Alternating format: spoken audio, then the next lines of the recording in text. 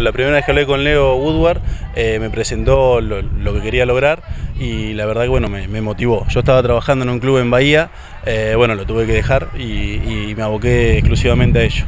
Eh, la verdad que bueno, me encontré con un club que mm, es una familia y es lo que a mí me gusta.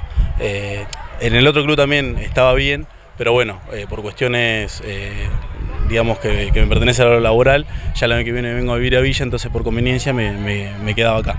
Eh, la verdad, bueno, las chicas son increíbles, eh, el laburo de preparador físico se hace muy tranquilo cuando tenés jugadoras así, eh, que tengan ganas de laburar, que tengan ganas de mejorar, y eso las hace distintas.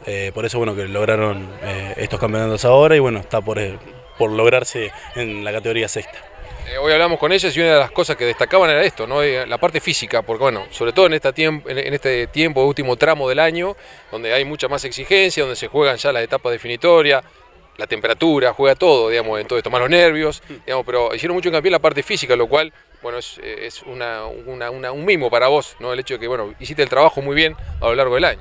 Eh, bueno, es un halago, yo la verdad que eh, no, no, me gusta mucho que, me halaguen tanto, pero eh, la verdad que es un laburo que se hace eh, a conciencia, intentando mejorar y yo le fui claro, yo entré en creo que mayo, junio y les dije, esto es a largo plazo, como vienen trabajando hace, tiempo, es a largo plazo, yo no, si, si los logros están ahora está espectacular, ahora los logros los van a ver el año que viene o el siguiente. Estamos trabajando bien, eh, de a poquito vamos metiendo distintas técnicas que por ahí no, tenían, eh, y bueno, metiendo la parte mía, el tinte mío.